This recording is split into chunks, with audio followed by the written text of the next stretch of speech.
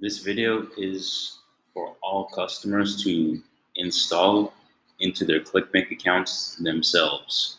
So what we need to do is the customer needs to get their Facebook Pixel ID. The way you find that is when you log into their when they log into their account, click this menu, go to Pixels, open it up, the page Pixels,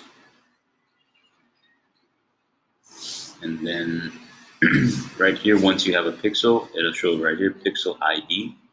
Double click on this number here, all these numbers. Do exactly what I'm showing you, okay? This is very important. Copy this in, inside of your ClickBank account. Go to vendor settings. Go down where it says right here, add tracking code.